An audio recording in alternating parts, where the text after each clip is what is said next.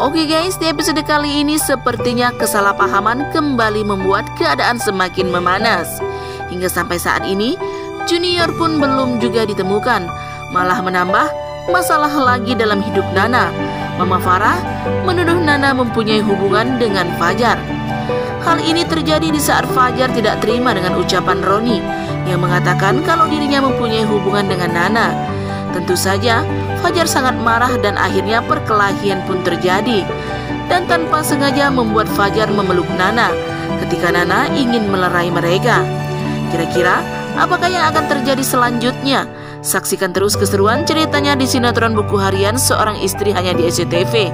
Dan Mimin pastinya akan update terus infonya di sini. Terima kasih.